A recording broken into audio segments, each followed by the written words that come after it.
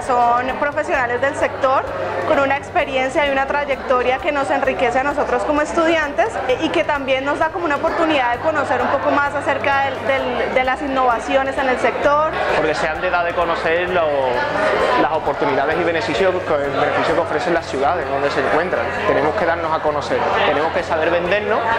y estimular el crecimiento de las propias ciudades.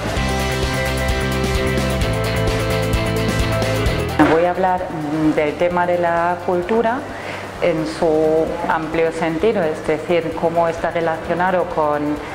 la cultura con los ciudadanos de Madrid, pero también con los hoteles, con la promoción del, destino Madrid y la importancia que tiene en todos estos sentidos, en la promoción y en los servicios que se ofrecen en el sector turístico de Madrid.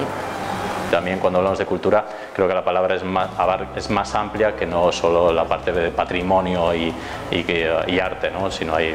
bueno, cultura gastronómica, como es nuestro país un ejemplo